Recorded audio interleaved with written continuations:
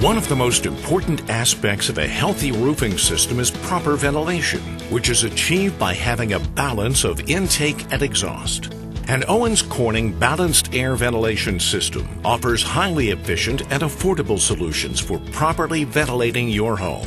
Using an Owens Corning ventilation system can help eliminate heat and moisture buildup in the attic that can lead to more serious problems such as ice damming, mold, mildew, and premature roof deterioration. Owens Corning has always offered a wide variety of exhaust ventilation products, and we now offer a solution to the common problem of inadequate intake ventilation with a VentSure inflow vent. In the upcoming training video, we'll focus on installing the VentSure inflow vent for both eave and mid-roof applications. By offering two installation options, this product can provide effective intake ventilation for a variety of roof styles. Before we begin, let's take a minute to talk a little more about the importance of a balanced ventilation system. In a balanced system, the amount of air exhausted out of the upper portion of the roof is matched by an equal amount of air being drawn in from the lower areas of the roof. The air drawn in, intake, will naturally flow upward toward the exhaust vents, pushing out the warmer, moist air in the attic. It's these air changes that help achieve desirable attic conditions. If the ventilation system isn't balanced, airflow won't be consistent, increasing the likelihood for heat and moisture to build up in the attic. Note that if a balanced system can't be achieved, always ensure there is more intake ventilation than exhaust, and strive not to exceed 60% intake. The VentSure Inflow Vent is a versatile product easily installed at the eave or up the roof slope typically without ever having to enter the attic. It's also designed for use in both new construction and re-roof applications. The inflow vent is uniquely designed to draw in air from the bottom of the vent rather than from the front face, minimizing the chance for water or debris to enter the attic or clog up the vent openings. The product provides 10 square inches of intake ventilation per linear foot and comes in 4 foot sections with nails provided with each vent. Inflow is backed by a 20 year limited warranty and is an integral component of the Owens Corning balanced ventilation system. Before installing this product, check local roofing and ventilation building codes. These are the basic requirement for roofs to be ventilated with the inflow vent. These are the tools and additional supplies that you'll need. We'll go over the use of each of these during the installation instructions. Safety should always be your top priority. Personal protective equipment or PPE should include a minimum of safety glasses, gloves, and hearing protection for when using the circular saw. Your company may have additional safety or clothing requirements. Fall protection should always be in use when working on a roof. For our demonstration, we'll be using a roof mock-up at the Owens Corning Science and Technology Center.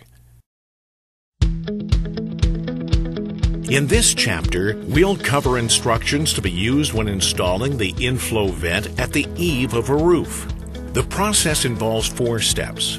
Installing a layer of underlayment, locating and cutting the vent opening in the roof, installing the vent, and installing the remaining underlayment and shingles. First, we'll need to locate and cut the vent slot. Begin by nailing a drip edge along the entire length of the eave according to local code requirements. Measure up six and a half inches from the drip edge and make a mark. Make a second mark one and a half inches above the first.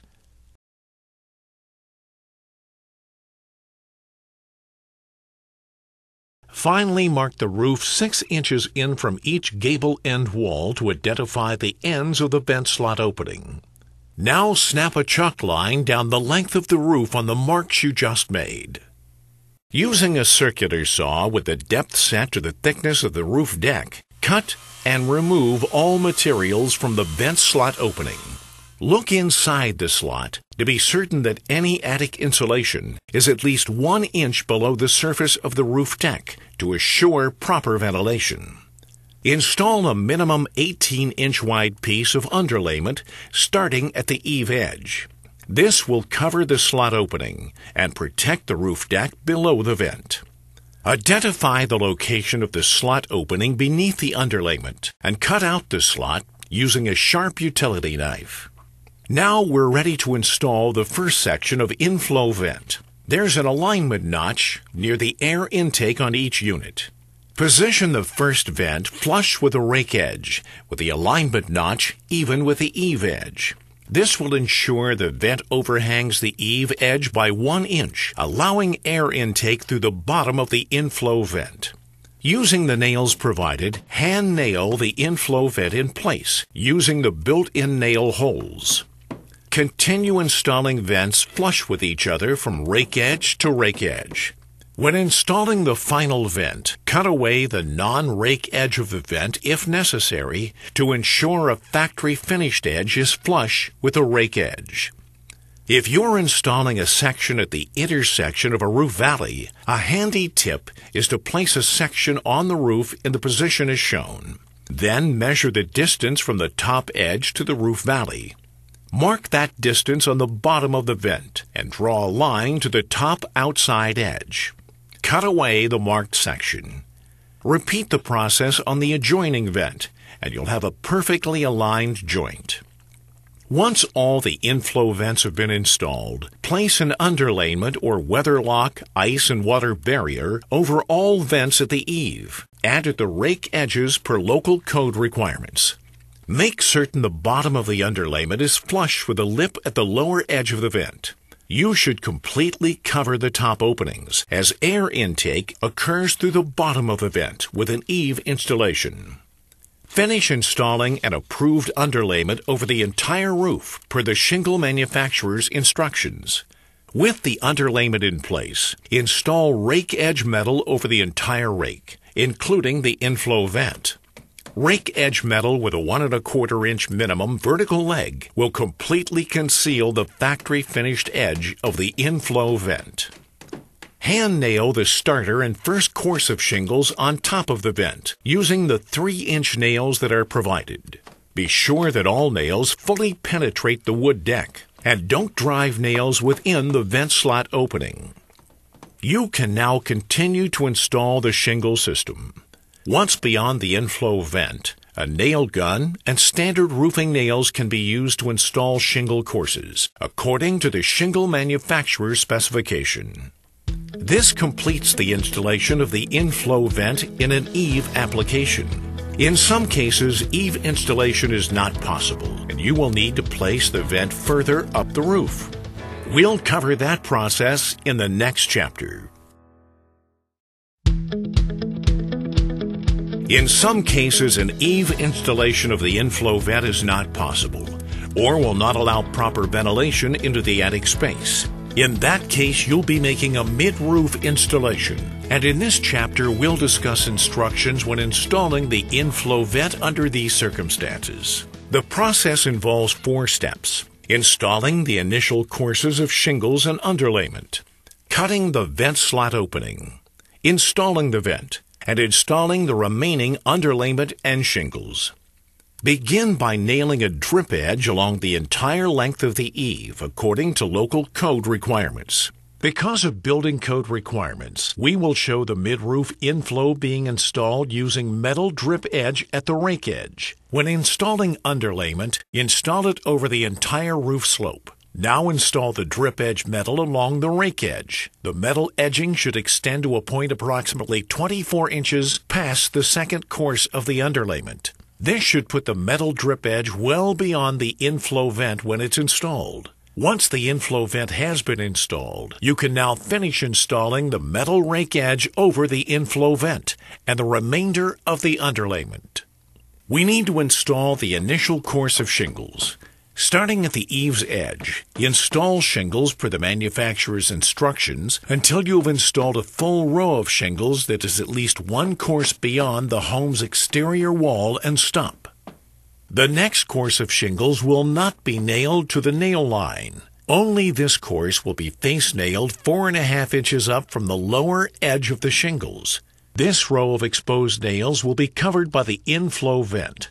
When nailing four and a half inches up from the lower edge of the shingles, evenly space the nails until this course of shingles is fully installed. An additional row of four nails per shingle should be installed on this course, one inch below the top of each shingle on this row. These nails will keep the head of the shingles from sliding down when the ventilation slot is cut. Make a mark 5 inches above the lower edge of the last course of shingles installed, and a second mark 1.5 inches above this line. Also make a mark 6 inches in from the gable end wall at each rake edge to identify the ends of the vent slot opening.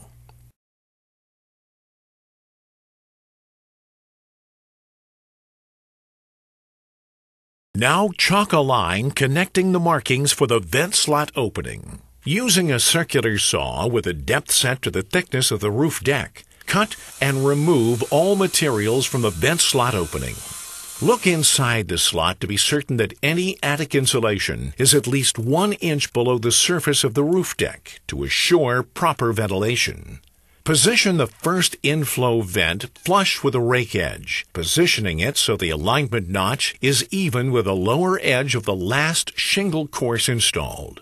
Using the nails provided, hand nail the inflow vent in place using the built-in nail holes. Continue installing vents flush with each other from rake edge to rake edge.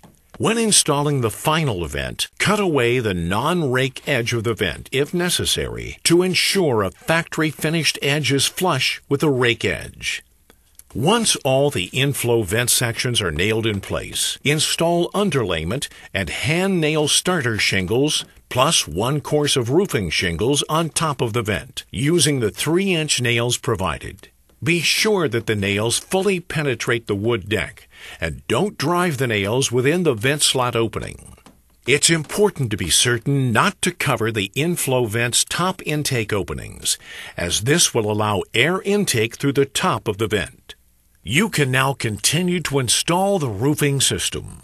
Once beyond the inflow vent, a nail gun and standard roofing nails can be used to install shingle courses according to the shingle manufacturer's specification. The VentSure inflow vent is part of a balanced air ventilation system from Owens Corning. When properly installed, this system will help protect your customer's roofing investment provide a natural ventilation of the attic space, and help enhance your reputation as a knowledgeable roofing professional.